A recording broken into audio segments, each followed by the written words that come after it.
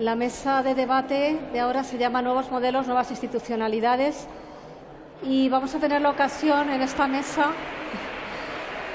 de conocer tres proyectos muy interesantes, muy diferentes entre sí. Uno de ellos es un proyecto en el entorno rural y otros dos son en el espacio urbano. Y son todos ellos eh, fórmulas nuevas, modelos eh, nuevos de favorecimiento de nuevos espacios de cultura, nuevos paradigmas y de una cultura más allá de lo institucional. En todos los casos es cultura que surge de la sociedad civil, una cultura comunitaria que busca sus espacios, que busca eh, puntos de encuentro, establecimiento de redes y eh, lo que bueno, pues preside el, sintagma que preside este año el encuentro busca favorecer el acceso a la cultura y la acción ciudadana para que esa cultura pueda, pueda surgir y pueda desarrollarse en libertad. Eh, aquí saldrán temas que van a salir en todo el encuentro, como lo que es la democratización de la cultura, la autonomía de la cultura frente a lo institucional, la diversidad, qué significa la institución frente a este mm, modelo nuevo de, cultura que surge, digamos, mm, pues eso, de la sociedad, sin, más mm, horma externa que la que se va dando poco a poco y el interés de los procesos culturales en realidad que, van surgiendo y se van autodefiniendo a la medida que, se desarrollan. Para ello os comentaba que tenemos tres proyectos. Voy a presentar simplemente ahora en apunte del nombre y del, responsable y de cada uno de los proyectos que vamos a presentar y después, cuando les dé paso y, les ceda el uso de la palabra, diré un poquito más de cada uno de ellos. Va a empezar Iraida Cano, eh, en representación de, su proyecto El Arreciado. Seguirá Joaquín Tellería, eh, del proyecto K, Cultura Alternativa. Y va a cerrar la mesa Ruth Mayoral con su proyecto SWAP, Zorrozaurre, Artwork in Progress. A todos ellos les voy a pedir que cuando presenten el proyecto nos digan qué singulariza al proyecto, cuál es el aspecto innovador mm, que ofrecen a, la sociedad, qué dificultades han encontrado para la, gestación del proyecto y su desarrollo, cómo las han resuelto, eh, cuál es la sostenibilidad económica y social de los proyectos y las herramientas de participación y de bueno, de relación con la comunidad y con el público que es propio a cada uno de ellos. También cómo interactúan con las instituciones a las que estoy segura que no les es ajena, eh, ajeno el trabajo que realiza cada uno de ellos. Con todos estos temas, pues, mm, en fin, confiando que vosotros vais a tener total libertad para presentar vuestros proyectos desde el punto de vista que queráis, damos la palabra a Iraida. Iraida Cano es licenciada en Bellas Artes y artista. Ella dirige un proyecto, El Arreciado, que es un espacio, un entorno natural para la creación, la convivencia de artistas y la difusión del arte. Es una finca de aprovechamiento agrícola y ganadero en la provincia de Toledo, eh, agricultura y ganadería ecológica, que acoge una residencia de artistas que buscan en la naturaleza su fuente de inspiración y desarrollan el trabajo en un entorno natural. También, eh, como nos contará, pues ofrecen encuentros de artistas y actividades culturales de distinto tipo para el público. Iraida me contaba que desde, los 10 años de edad está vinculada estrechamente a la finca. Ella lleva la gestión de la finca y trabaja allí también, pues llevando la propia explotación. Así que cuando quieras te cedo la palabra. gracias, Begoña, y gracias a los organizadores por invitarme. Buenas tardes, estimados amigos.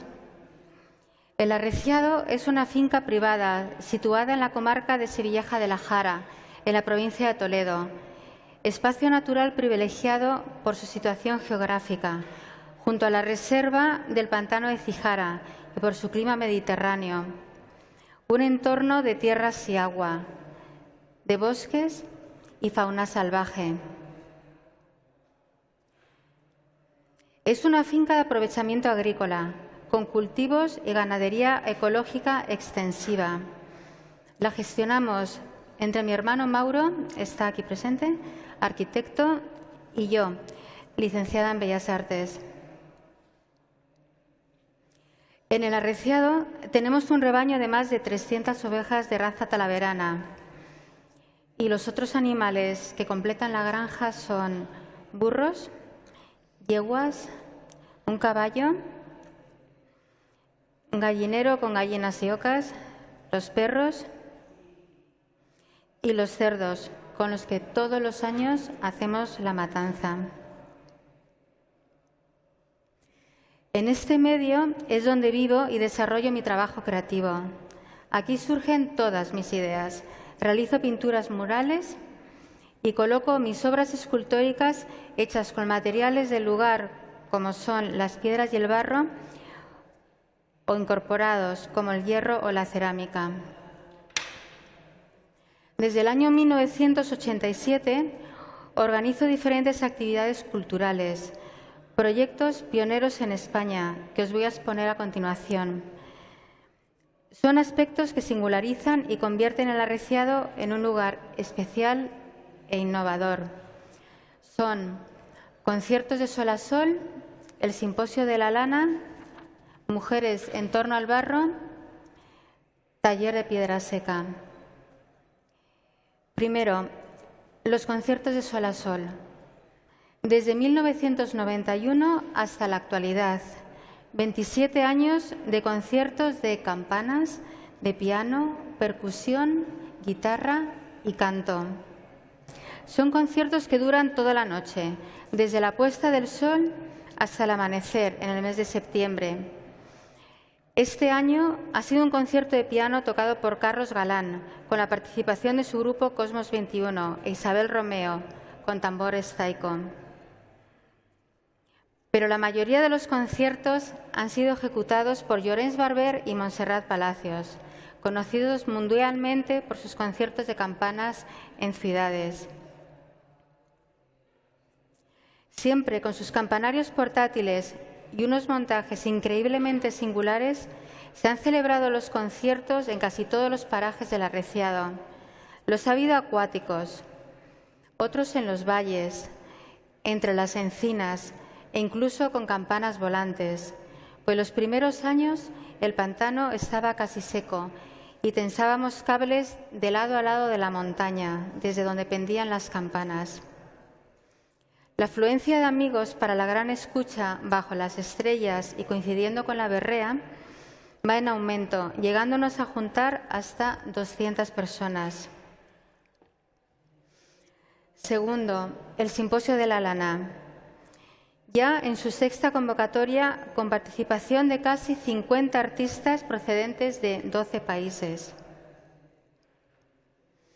Todos los años, al llegar la primavera, se esquilan las ovejas. Observar la maestría de los esquiladores y ver las posturas escultóricas de las ovejas enredadas entre las piernas del esquilador no deja de sorprenderme. Un año estuve dibujando todo el proceso y mientras lo hacía pensaba en la infinidad de posibilidades creativas que ofrece esta lana tan maravillosa. Surgieron tres esculturas que titulé Árbol de la Lana, con un homenaje a la oveja negra. Inmediatamente después pensé en organizar el Simposio de la Lana. La difusión de esta convocatoria es a través de redes sociales y de los proyectos recibidos elegimos hasta ocho. En estas seis convocatorias que llevamos, la repercusión internacional ha sido muy notable. Los artistas conviven durante una semana y realizan sus proyectos de carácter efímero, pues una vez pasado el simposio, se recoge la lana para que siga su andadura hacia la hiladura. El último día organizamos una jornada de puertas abiertas para dar a conocer las obras realizadas, a la que acuden unos 150 invitados. Al ser la demanda cada año más numerosa, este año hemos alquilado un autobús desde Madrid para facilitar el traslado, pues desde aquí se tarda casi tres horas en llegar. Colabora las bodegas González Vías aportando el vino de finca Constancia, que se consume durante el simposio. Esta es de momento la única colaboración de una empresa de la zona. Tercero, el barro. Mujeres en torno al barro. Este año se ha celebrado el tercer encuentro.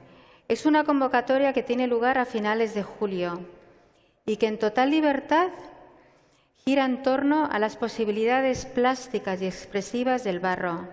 Afortunadamente, el arreciado es rico en arcillas de diferentes colores y calidades. La convocatoria reúne todos los años a diez mujeres que exponemos y compartimos experiencias artísticas a través de este material. No hay por ahora jornada de puertas abiertas. Cuarto, la piedra. Colaboración con la Facultad de Bellas Artes. Conservación y restauración de la piedra seca, formando dibujos de grandes dimensiones sobre la geografía del terreno. Hace muchos, muchos años empecé haciendo un dibujo piedra junto a piedra, que ocupaba toda una ladera de unos 120 metros. Es un dibujo que se aprecia cuando se camina siguiendo la línea de este y haciéndose cada uno su propia imagen. Además, intencionadamente, desde ningún punto se puede ver completo el dibujo. Es una obra en la que sigo trabajando y para la que solicito participación, ya que tanto las ovejas como los jabalíes, al pasar por encima, lo desdibujan continuamente. En octubre, desde hace cinco años, vienen los estudiantes de escultura de la Universidad de Bellas Artes de Aranjuez para reconstruirlo con sus profesoras Marta Linaza y Ana Balboa. Marta me escribió, cito, a nuestros alumnos les ha supuesto un comienzo de curso muy potente y de algún modo sirve también para conectar con la realidad, la tuya, tu obra, los animales, el paisaje, los olores, los sonidos. Esto para mí es de suma importancia. La Casa de Artistas. El alojamiento de todos los artistas es en la Casa de Artistas, residencia temporal dependiendo de cada actividad. Como proyecto inmediato tengo la cabaña para pensar. Reconstruyendo unos antiguos corrales, se levantaron los muros y se colocó el tejado, cuatro ventanas y dos puertas, manteniendo el suelo original de tierra. En este lugar de recogimiento tranquilo y apartado, los artistas pueden realizar cualquier tipo de trabajo con la condición de que la obra sea efímera. Para un futuro próximo, mi gran sueño es construir la biblioteca del Arreciado y tener un espacio permanente para el piano sin necesidad de alquilarlo en cada ocasión. En cuanto a las dificultades a las que me he tenido que enfrentar y cómo las he solventado, diré que, por supuesto, cada actividad que comienza quiero que tenga continuidad, que se convierta en tradición. Y para esto hay que pensarlo muy bien antes de convocarla, así como saber cómo se va a financiar y tener muy claro cuántos van a ser los gastos a compartir entre los asistentes. Hasta ahora Todas esas actividades son posibles gracias al entusiasmo y apoyo incondicional de la extensa familia de amigos del arreciado, comprometidos con estos proyectos especiales y únicos, trabajando por amor al arte, siempre de buen humor y pendientes de agasajar con deliciosos manjares a nuestros invitados en medio de la naturaleza. Ahora Después de la consolidación de esos proyectos, estamos abiertos a la colaboración de organismos y empresas para mejorar lo que ya está en marcha e introducir más ideas. Estoy especialmente agradecida al poder exponer aquí, en este marco, Cultura y Ciudadanía, el proyecto del Arreciado, que es mi vida. Aquí os dejo, no sin antes agradecer a la gran familia del Arreciado a todos mis amigos que me ayudáis y acompañáis con gran entusiasmo e ilusión en la gran aventura que es hacer crecer el arreciado. Un agradecimiento muy especial a los músicos, a los poetas y a todos los artistas que habéis participado en los simposios de la lana, del barro y de la piedra. A todos los que estáis aquí, muchas gracias por vuestra atención y estaré encantada de recibiros en el arreciado. Gracias.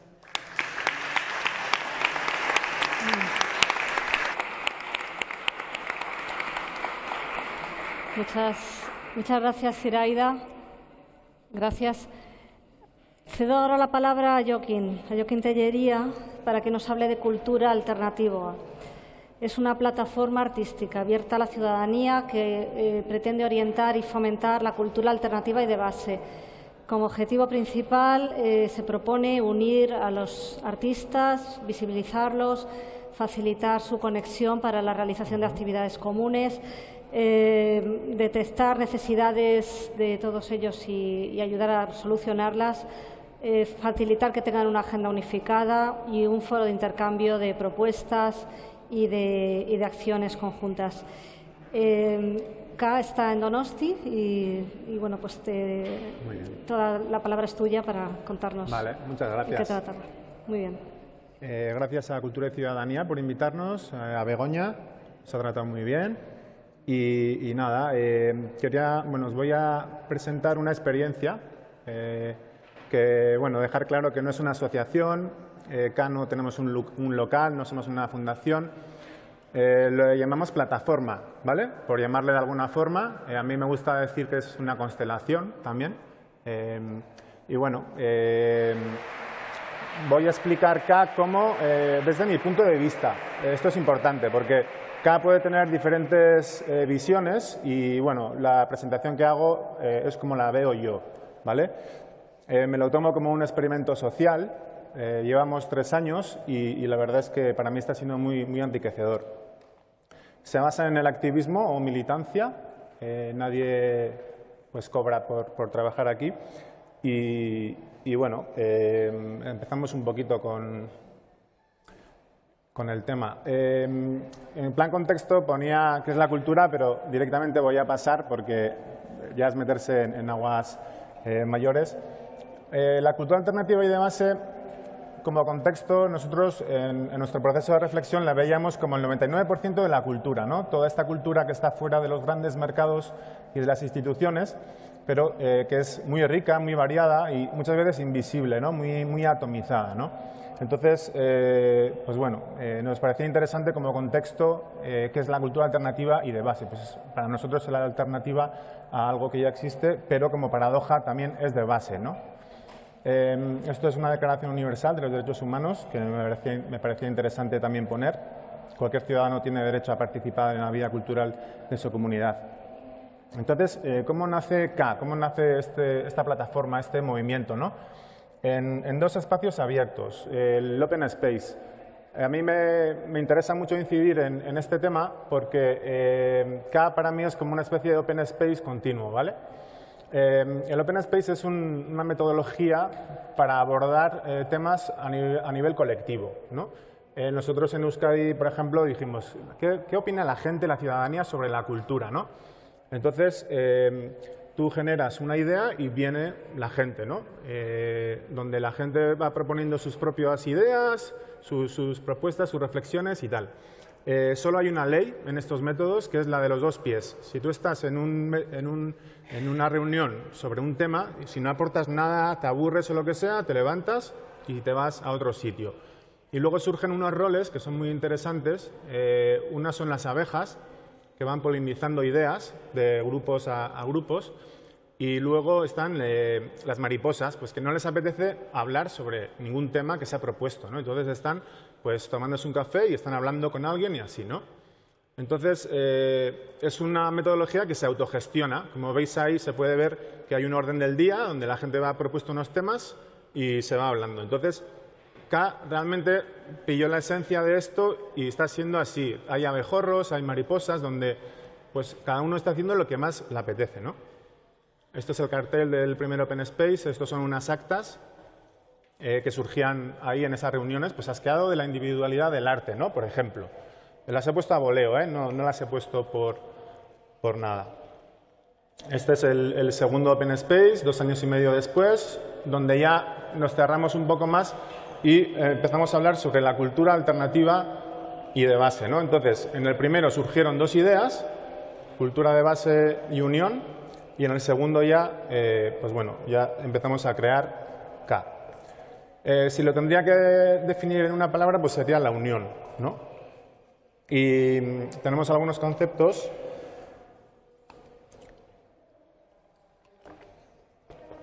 Para nosotros el tema de participación es, complejo. Para nosotros alguien que está ensayando o que está pintando está participando ya en la, sociedad. ¿no? No, tiene por qué venir a, nuestros encuentros a, opinar, sino que para nosotros es, mucho más, complejo el tema de la participación. ¿no? Porque muchas veces parece que participas solo si vienes a donde yo te he convocado. Pues en este caso queremos darle una vuelta de tuerca a eso. Es social porque no hay ningún filtro, evidentemente. Hay, ciudadanos que vienen eh, y no son artistas o no se, no se ven a ellos mismos artistas y, tienen... De ahí viene la, apertura. Estamos organizados. Eh, los encuentros, las Cato Paquetac, que llevamos 23, eh, pues bueno, se hacen de forma constante y ahí decidimos todo. De dónde venimos, hacia dónde vamos, etcétera. Es totalmente horizontal de todos y es transformador pues porque queremos cambiar un poco el ecosistema, la escena, etcétera, ¿no? Totalmente libre y, bueno, pues inclusivo. En cuanto a cifras, estamos apuntados 350 miembros, eh, hemos hecho unos 23 encuentros, 250 actividades y ya llevamos tres años, ¿vale? Hemos tenido ayudas eh, de Donostia 2016, la capitalidad del año pasado, nos han dado un segundo premio y varias ayudas de Donostia Cultura y, Diputación. En cuanto a objetivos, pues múltiples, ¿no? Eh, el principal es impulsar la cultura alternativa y de base, pero hay diferentes formas, ¿no? Pues un foro activo, eh, destacar la cultura de base mediante la unión, que se vea, pues bueno, que hay muchas cosas que normalmente no se ven, eh, cultura social, eh, la colaboración, eh, una cultura de abajo arriba, pues bueno, tiene múltiples visiones, ¿no? Entonces, pues bueno, un poco lo que hemos dicho. Participando, reflexionando, creo que hacemos todo el proceso, desde reflexionar y, criticar hasta hacer actividades artísticas ¿no? y, cerrarlas. Esta plataforma está criticada desde dentro también y, desde fuera, evidentemente, y eso nos parece positivo, porque eso quiere decir que estamos pensando y nos estamos metiendo a caña también a nosotros mismos. ¿no? El tema prosumidor, que es un poco lo contrario a consumidor, pues es importante. Vamos a generar nosotros la cultura, no vamos a ser pasivos, no vamos a ser el público. ¿no? Eh, la transparencia importante también, la visibilidad clave, porque le da mucha importancia a esto, la gestión horizontal, hay, un eh, pequeño equipo que lleva, por ejemplo, la administración, pero la lleva totalmente de forma horizontal. No tenemos forma jurídica, ni la necesitamos. Para temas como subvenciones, etcétera, pues nos apoyamos en alguna eh, asociación que ya existe dentro de ECA. ¿no? Entonces, eh, pues bueno, no necesitamos unos estatutos o una junta directiva para funcionar, porque no nos hace falta y la complejidad, ¿no? Hay gente que es artista profesional, gente que no es profesional, algunos son semi, eh, por ejemplo, ¿no? Aparte de ciudadanos y tal. Entonces, como he dicho, los encuentros K, que hacemos cada mes y medio así, son la base y de ahí pues han surgido grupos de trabajo eh, y luego se toman las decisiones colectivas, la inscripción totalmente gratuita y, bueno, el voluntariado también es importante, ¿no? Esto es eh, una Paqueta, un encuentro de K, que hicimos en el DOCA y esto es un Open Space, que es lo que os he dicho antes de cómo nació. Hace poco hicimos el tercero, ¿vale? Para darle otra vez otra vuelta de tuerca. En este caso, la administración y gestión la lleva una asociación de la DK, como ya os he contado, y es un miembro más, una asociación sin ánimo de lucro, la gestión horizontal, eh, etcétera. ¿no? Entonces, hace un trabajo que quita peso a, una plataforma, porque muchas veces este tipo de colectivos se queman en el tema de, las gestiones administrativas que les, es totalmente ajeno. ¿no? Entonces, esto es para bueno, una, asociación que la llevo yo, pero claro, yo me viene de camino, yo trabajo en la cultura de base y, no me cuesta nada pues, llevar este tipo de cosas. De aquí han surgido diferentes proyectos artísticos a base de las reuniones, etcétera, ¿no? Pues, eh, ¿Qué quieren los artistas? Pues normalmente pues, expresarse, ¿no? Esto es, por ejemplo, en World Festival A, eh, el año pasado. Aquí tenemos a Camila haciendo danza acrobática eh, donde bueno, participamos en un, festival. Eh, también hicimos un fanzine, esta es la presentación, eh, un concierto con niños, que siempre en todos los encuentros le hemos dado mucha importancia al tema de los niños. El año pasado también hicimos 100 actividades durante todo el, año, eh, actividades multidisciplinares, desde exposiciones hasta conciertos, teatros, performances y tal. Esto es, por ejemplo, un concierto en una papelería, también dentro de esas 100 actividades. Luego tenemos los CNEAN, que quiere decir K en directo, que son como unos encuentros, pero artísticos. O sea, nosotros en los encuentros nos conocemos de hablar, pero no sabemos qué es lo que hace artísticamente el otro. ¿no? Pues aquí hacemos un festival multidisciplinar donde pues, bueno, tenemos música, tenemos eh, performance, tenemos de todo. ¿no? Y luego han surgido diferentes grupos de trabajo, eh, tanto para web, para proyectos, para festivales, etcétera. Esto es una actividad de los eh, artistas plásticos que tienen un, grupo. Eh, esto es la, portada del fanzine y, la página web. ¿no? Entonces, esto es un poco el, resumen de todo, eh, de lo que os he hablado. Es un, es, un, proyecto bastante complejo, pero realmente funcionamos de una forma muy sencilla, mediante los encuentros, y de ahí ya van, surgiendo otros tipos de Entonces, ¿cómo se participa en CAP? Pues como cada uno quiera, ¿no? Eh, eh, puede hacer propuestas, puede dar ideas, puede asistir a los encuentros, eh, puede poner el logo de K en sus proyectos. Yo, por ejemplo, en mis proyectos de, de, mi asociación, yo voy con K a todos sitios, porque para mí es un soporte, me da visibilidad, me da, pues eso, es un soporte donde lo llevo a todos lados y, esto nos genera cohesión ¿no? entre, entre todos. Es como un símbolo que compartimos todos, por muy diferentes que seamos, porque realmente somos, como ya he dicho, muy complejos, muy, muy diferentes los unos de los otros. Las colaboraciones, lo más interesante que yo veo dentro de CA es lo que no se está cuantificando, por ejemplo. ¿no? Todas estas relaciones que se van surgiendo, van surgiendo proyectos, pues por ejemplo alguien que va a hacer un corto, pues ha cogido a alguien de diseño, otro de producción, otro tal, entonces, pues bueno, tienes a mano pues mogollón de, de áreas para poder colaborar. Entonces, bueno, eh, es como, como he dicho al principio, una especie de espacio abierto, un open space donde cada uno puede venir e ir cuando quiera. Y nada, para acabar, unas notas de prensa que han ido saliendo. Llevamos tres años, como he dicho, y, y nada, esto es un, un poco todo. Gracias.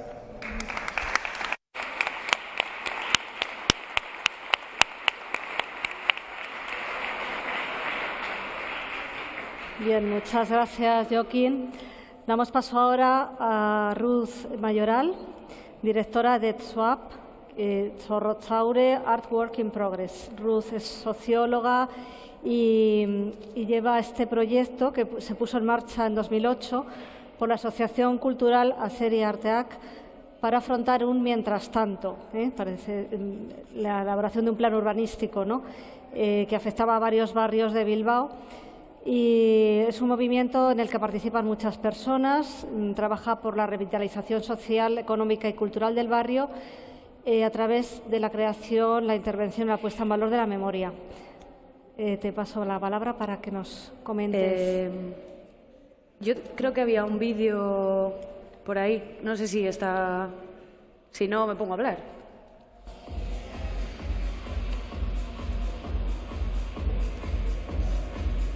Bueno, este vídeo es solamente porque creo que una imagen vale más que mil palabras y aquí se puede ver un poco cuál es el ecosistema más puramente físico del proyecto.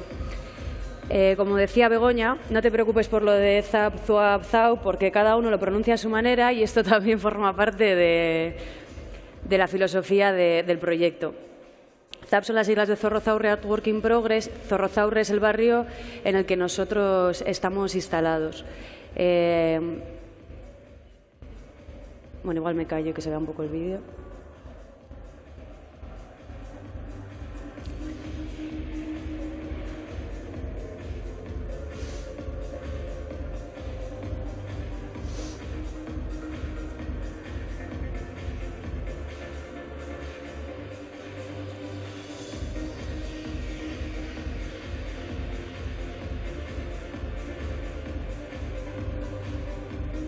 Vale, creo que había una presentación y así ya arranco. Tengo seis minutos.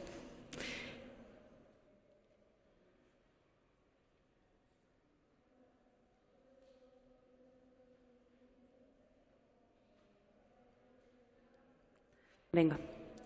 Em, como os decía Begoña, eh, el concepto más importante, o digamos lo que aporta ese valor diferencial, que era una de las cuestiones eh, que se planteaban o para, presentaros aquí, ¿no? un poco cuál era ese valor distintivo o ese valor añadido, para nosotras es el concepto del mientras tanto. Nosotros estamos instalados ahí, como veis en el, en el plano, muy cerca de toda la zona de, bueno, de Abando Ibarra, Guggen y todo lo demás, que es la zona más turística y más conocida de la ciudad, pero nos instalamos eh, justamente en eso que veis, que le he puesto esa cosa azul, que da a entender que lo que va a ocurrir ahí es que se convierte en isla, eh, porque como somos muy de Bilbao, eh, pues bueno, eh, tenemos una península dentro de la ciudad que en apenas un, año se convertirá en el pequeño Manhattan, que llaman en la prensa allí. ¿no? Se convierte en una isla, esto que hoy es una, una península postindustrial, vamos a decir, se convierte pues, en una parte de la ciudad de servicios y, demás. Ahí os he puesto algunos datos de la ciudad para que veáis un poco cuál es el contraste. Eh, a nivel de tamaño, ¿no? es mucho más grande esta última gran intervención urbana eh, respecto o en comparación con lo que ha habido previamente la intervención de Ría 2000 en la ciudad. Eh, y os destaco algunas de las cosas más importantes como proyecto urbanístico, que son, por un lado, el hecho de que hay suelos contaminados, y por otro lado, que hay multitud de propietarios, desde muy grandes a muy pequeñitos. ¿no? Esto es una cosa que, difiere bastante de toda la zona centro de Bilbao, que fue bueno, propiedad de las instituciones principalmente, lo cual, eh, aunque tiene su complejidad todo el tema de Bilbao Ría 2000, se pudo acometer más fácilmente porque el consenso era entre menos, digamos, entre, entre menos sectores. ¿no? Entonces, bueno, como os decía Begoña, nosotros somos una asociación que hace ya este año 20 años que empieza con una sala polivalente, una caja negra que es Acería Aretoa, la sala Acería, que empieza con el concepto vasco de choco, pero hacer un choco, en vez de gastronómico, un choco cultural. Y empieza con la idea de hacer música, bueno, o de crear, sobre todo especialmente, aunque luego empieza a exhibir música, teatro, eh, talleres, conferencias y de todo, ¿no? Y esto es una pequeñita nave industrial en esta península que, os digo. Ante todo el proyecto urbanístico que se plantea en la ciudad, empezamos con Zorrozaurre Art Work in Progress, que trataba con esa misma filosofía de la acería, eh, coger nuevos espacios y empezar a, utilizar, a utilizarlos en ese proceso de transformación, en todo el tiempo que ocupa ese proceso de transformación. Muy resumidamente explicado es, sabemos qué ha habido aquí, sabemos qué va a ocurrir aquí, pero el tiempo que hay entre estos dos puntos es un agujero que nadie sabe qué va a pasar. Solo sabemos que tenemos un barrio donde viven 430 personas aproximadamente, eh, donde hay un montón de zonas y de espacios vacíos en, desuso o infrautilizados, con lo cual tenemos espacios de posibilidades, pero que se quedan cerrados durante un montón de años. ¿no? Ahí es donde nosotros, con la experiencia un poco que ya teníamos de acería, empezamos a meternos en otras naves. Este meternos en otras naves es con contratos de alquiler con los propietarios privados de estas naves. Eh, o sea, no se han producido ocupaciones, vamos a decir. Porque en este caso todo tiene propiedad, no, hay sitios abandonados como tal. ¿no? Eh, aquí destaco varias cosas importantes del proyecto. Eh, como decía, el concepto de mientras tanto, que es solo es un proyecto temporal, estamos abocados a la desaparición. Y aunque al principio nadie creía en este proyecto, hoy el proyecto ya va a hacer 10 años, con lo cual en esos 10 años imaginar la cantidad de proyectos que han pasado, que residen, porque tenemos eh, eh, residencias artísticas, también tenemos proyectos residentes, zappers, que se autodenominan, que están 40, o sea, 365 días al año en los espacios trabajando, tenemos una programación cultural, eh, tenemos programas eh, más de barrio, proyectos internacionales, todo esto ha ocurrido en ese mientras tanto. Entonces, lo que tratamos es de poner en valor un modelo de urbanismo diferente, un modelo de urbanismo en tránsito que tiene que ver con lo efímero y con lo temporal. Y la filosofía, eh, que es un poco lo especial, es que está abocado a desaparecer, ¿no? Y entonces fomenta un poco ese desapego del espacio y eh, gracias del espacio como, herramienta y no como, el fin final, valga la rebuznancia. No ha acabado todavía, ya a estar aplaudiendo. Eh, entonces, bueno, un poco eh, más para que lo veáis en imagen. este es el barrio de la Ribera de Deusto y Zorrozaurre. Esto es en lo que se va a, convertir, según bueno, las imágenes de Zaha Hadid, que fue la que diseñó el plan. Cinco minutos, pero si empezaba y me quedaban seis. Eh, y entonces nosotros estamos en el mientras tanto. Voy, ¿eh? Lo hago en cinco. Eh, ¿Y qué nos encontramos en ese mientras tanto? Pues un montón de cosas, ¿no? Un montón de... Mm, eh, pues bueno, de cosas, de cosas, como por ejemplo que hay mucha gente metiéndose en los espacios, algunos ocupan los espacios y conviven como, vecinos con nosotros, y, o sea, nos reunimos y tenemos muy buena relación, son unos vecinos más. Otras personas al final se tienen que buscar eh, la vida y vienen a coger la chatarra, lo cual ha, producido bueno, electrocuciones, eh, derrumbamientos, etcétera. Normalmente es gente bastante profesional de eso, o sea, viene, coge la chatarra y se marcha, porque la gente que, está, que tiene que vivir ahí cuida de su, de su espacio. Esta última imagen es de un vecino, Jesse, dibujante, que hace cada año los carteles de las fiestas y, como veis ahí, pone una lupa eh, encima como hablando de la visibilidad que necesita el barrio. Y aquí, bueno, veis eh, algunos de, nuestros espacios. Llegáis a tiempo. Em, bueno, este es uno de nuestros espacios, la primera foto, que es justo el que está al lado, que veis que las intervenciones han sido muy, muy básicas en el espacio, pero que con, muy poco hemos podido aprovecharlo para un montón de cosas. ¿no? Estos son otros de los espacios, el más importante, el parque, em, y aquí es como empezamos a trabajar. Eh, una de las cosas importantes también de este proyecto es que mientras el proyecto eh, que es nómada se va moviendo, van quedando cosas. ¿no? Nosotros ahora estamos en un momento eh, muy importante que yo llamo Zexit, como el Brexit, pero de, de ZAP, y es que el éxito también de un proyecto es saber salir del proyecto. Ahora mismo nosotros estamos apenas un año de que derriben todas las naves que tenemos. Algunas se salvan, pero nosotros vamos a salir de ellas. Entonces, en estas naves que se salvan, quedan proyectos consolidados que han nacido y crecido con el apoyo de ZAP eh, y las demás eh, se derriban, pero ya han tenido un aprovechamiento de 10 años. Y no pasa nada, ¿no? La gente dice, ¿qué pasa? Os, os, derriban el espacio. No pasa nada porque el espacio es una herramienta. Entonces nosotros cogemos nuestras cositas y nos vamos a otro sitio, ¿no? Ya hemos buscado otra nave que está en fase 2 del proyecto y nos iremos allí para empezar a hacer cosas. Pero no nos conformamos con eso y eh, otra manera de salir del proyecto, lo que estamos haciendo, bueno, esto es parte de las instalaciones, eh, es crear una fundación. La fundación que nos sirve como interfaz para, no solamente seguir manteniendo la relación con los grupos informales eh, y con las instituciones, sino también con las empresas, ¿no? Las empresas, especialmente las empresas constructoras que están en el barrio y que tienen solares y que tienen edificios que van a quedar vacíos durante más de 20 años hasta que puedan intervenirlos. Entonces, lo que estamos es negociando con algunas de, estas empresas que nos cedan en usufructo sus espacios para poder intervenir en ellos y poder darles vida y hacer cosas durante ese tiempo. Todo esto hablo que es un tiempo limitado, es mientras tanto. Eh, y hay algo que me habías, creo que, preguntado, que me queda un minuto, o me lo he inventado. Eh, sobre algo que tenía que destacar. Bueno, la singularidad creo que es eso. Otra cosa que nos preguntaba Begoña era eh, la, sostenibilidad. Una cosa que es muy importante y que nosotros nos lo hemos currado mucho es no solamente la sostenibilidad económica, sino la sostenibilidad de las personas, porque nos hemos dado cuenta nosotras mismas dentro del equipo que nos descuidamos mucho y que muchas veces también nos maltratamos y también hemos eh, abierto bastantes procesos para trabajar en eso, porque las cosas para sostenerse, para sostenerse en el tiempo tienen que ser sostenibles económicamente y también a nivel de, cuidados. Em, y bueno, y también creo que me preguntabas algo sobre la financiación, la relación del barrio. Em, nosotros tenemos financiación actualmente, voy a los detalles morbosos.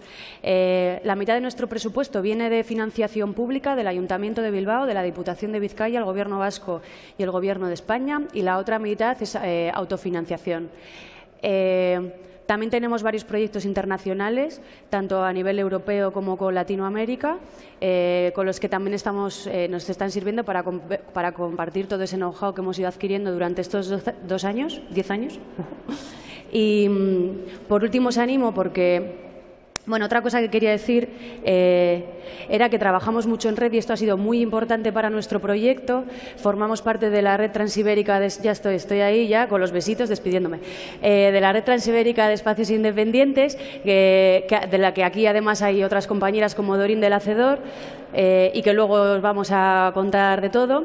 Eh, estamos en Carrasca, en la red de, experiencias creativas también de Euskadi.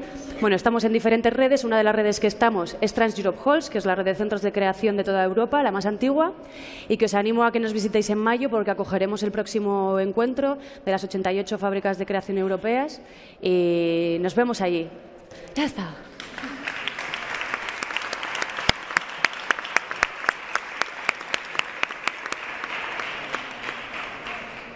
Gracias, Ruth. Eh, tengo que agradecer a los tres ponentes su capacidad de síntesis y, su ajuste al tiempo, teniendo en cuenta sobre todo que esta mesa partía con una desventaja de tiempo importante porque nos lo consumió la mesa anterior. Entonces yo creo que podemos pedir diez minutos para preguntas a la organización, si nos lo permite, eh, si queréis hacer preguntas a los ponentes. Yo un poco por recapitular y sin ánimo de simplificar nada, y por eso ya os pido disculpas de entradas, por, quiero que no lo veáis así. Me ha gustado, los tres han dicho, mm, cada uno de ellos una palabra definitoria, que me parece que son palabras con una carga y un peso, bueno, realmente eh, muy sugerente ¿no? en, el, ámbito de la cultura. Mm, Mm, de, la sociedad civil de la que estamos hablando. Arreciado se, define como la casa del amigo, eh, K como la constelación y ZAP como el ecosistema. Eh, todo eso bueno, pues implica muchas cosas.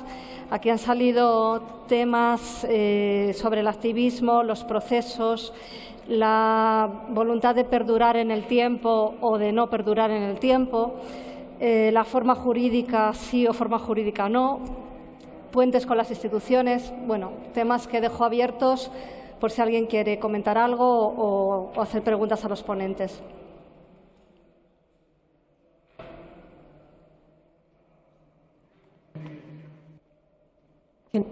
Hola, buenas tardes. Yo soy Rebeca, vengo del Centro Cultural de España en Santiago de Chile. Un placer. Y bueno, mi pregunta va para ti, para Swap. Y em, un poco preguntaros si, aparte de todos los proyectos artísticos que habéis desarrollado en este interim de 10 años, también ha sido vuestro, vuestro fin o vuestra, o vuestra meta influenciar también en lo tanto desde un punto de vista arquitectónico, urbanístico, inmobiliario, ese nuevo barrio. Es decir, ¿os habéis centrado solamente en la parte más artística, más lúdica, o también con ese trabajo que habéis realizado con la comunidad, habéis intentado también influenciar en esos 10 años para que ese barrio se convierta bueno, en un barrio pues, amigable, que realmente responda a las necesidades de la ciudadanía que ahí habita? En fin, ¿os lo habéis planteado, lo habéis hecho, lo habéis conseguido? Mm. Eh, bueno, aquí, claro, al final he sintetizado tanto que me he saltado las cosas más importantes. Em, en el, barrio lo que sí que hay un proceso de, diálogo muy importante con el ayuntamiento especialmente y los vecinos, en el que se decide por petición vecinal la conservación de toda la vivienda, la rehabilitación de la vivienda con ayuda también municipal. Em, y nosotros, bueno, y esto fue el Foro por un Zorro Sostenible, que también se celebró, que además se celebró parte en la acería. Nosotros, en principio, cuando, cuando nació ZAP, la idea era siempre aprovechar el mientras tanto para generar posibilidades. Nunca fue influenciar el plan. Sin embargo, el plan Finalmente lo hemos influenciado, eh, evidentemente, y aparte es verdad que en el transcurso propio del proyecto nosotros hemos sido activos a la hora de alegar.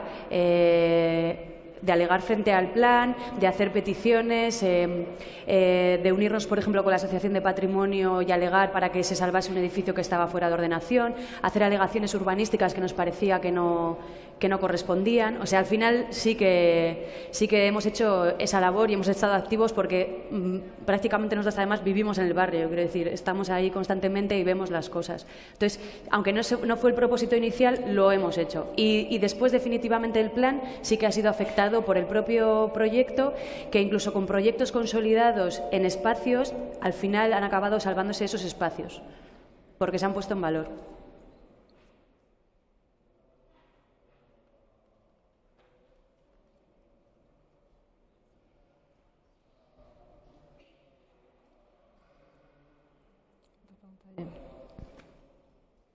¿Ya?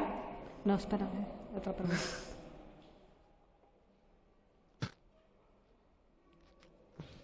Hola, sí. Ah. Parece. Hola, ahora. Bueno, los principios por nuestros proyectos me parecen, los tres me parecen de un nivel excelente. A Iradia preguntarle qué te parecen las nuevas iniciativas que afortunadamente nacen como setas últimamente, como por ejemplo el Cubo Verde, donde están eh, proliferando y siendo eh, sustentando de alguna forma nueva creación eh, en estos momentos. ¿no? ¿Qué te parece esa iniciativa? Y acá una pregunta no malintencionada, sino una pregunta de concepto. ¿Qué entiendes por alternativo, por cultura alternativa? La segunda pregunta no la he oído. La segunda pregunta era Joaquín sobre qué considera alternativo, creo, ¿no? Sí, es para acá. La segunda pregunta es para acá. La tuya, la tuya era la primera. Sí.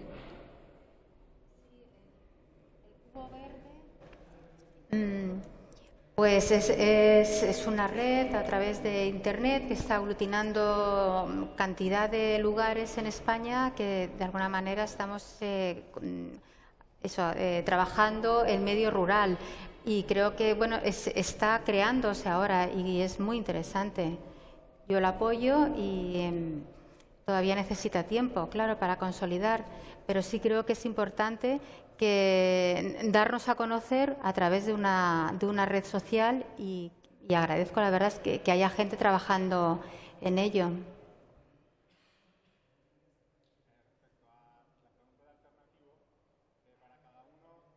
Eh, una cosa puede ser alternativa o no, cada cual puede tener sus, su idea de alternativo. Nosotros en nuestro proceso de, de reflexión sí que hemos captado que hay eh, ciertos poderes que eh, tienen más recursos de visibilización, económico, etcétera, etcétera, luego que hay otra cultura que está un poco más eh, desfavorecida en muchos sentidos. Eso lleva a que se convierta en alternativa, ¿vale? Pero se, se, genera la polémica, o sea, la paradoja de que también es de base, ¿no? Entonces, bueno, este nombre, este subtítulo, porque la plataforma se llama K, pues sirve para un poco también provocar debate y, ver de un plumazo por dónde vamos, ¿no?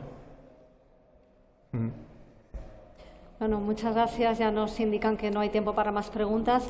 Gracias a los tres ponentes. Enhorabuena por vuestros proyectos. Mucha suerte y a todos también gracias por entendernos.